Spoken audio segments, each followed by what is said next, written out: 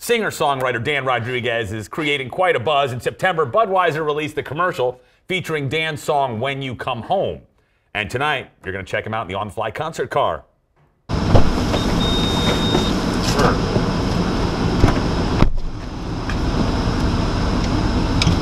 yeah. All right. Nice cold day.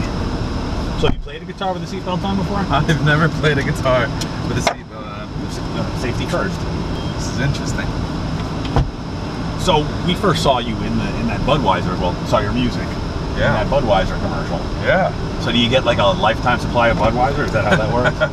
Uh, I, d- I don't. It wasn't part of my agreement. oh, you need a better agent.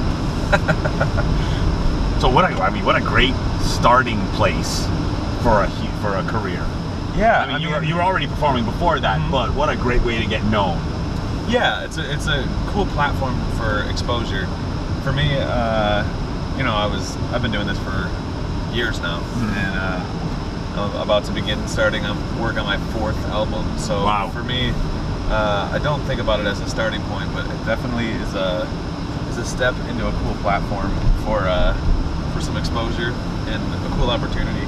Well, you've got four albums, so you've got to have some sort of uh, fan base going on right now. Did you get a lot of response as soon as people heard your voice in that commercial? Yeah, so uh, a lot of the people that have been listening to my music for years uh, said a lot of positive things along the lines of uh, getting the recognition you deserve and uh, I'm, I knew you when, that type of thing.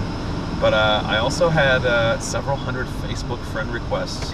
Oh yeah, right away. The weekend that it came out, and uh, I I changed my name on Facebook. I Did hid- you? I had to hide because I Oh. was getting it was it was getting out of control. But uh, it was it was really cool to be able to to see what it what it, what just started to develop from there.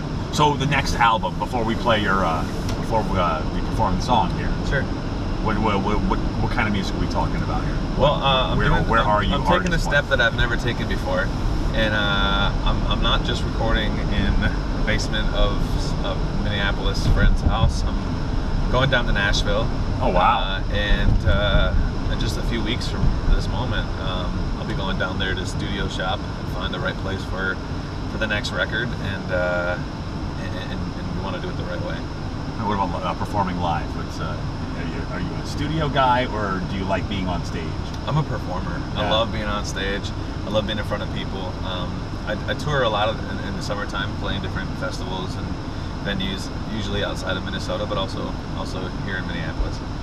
But uh, but yeah, I love I love performing. I love being in the studio and doing that and translating what I've been writing and what I've been working on uh, into something that is more formidable and more established as this is what the song is going to be from now on. But uh, but getting out and performing is that's that's my niche. That's my thing. Well, I'm proud to give you the strangest, smallest, and uh, most unusual concert venue in the history of all concert venues. Uh, what song are you going to do for us first? Uh, well, I had a, a couple of different thoughts, but um, I, I thought maybe I should sing something off of my most recent album. Okay. Uh, that that way I'm, I'm not giving too much information away about what's going to be on the newest record, but uh, but the most recent one that came out last year. okay, well, let's hear it.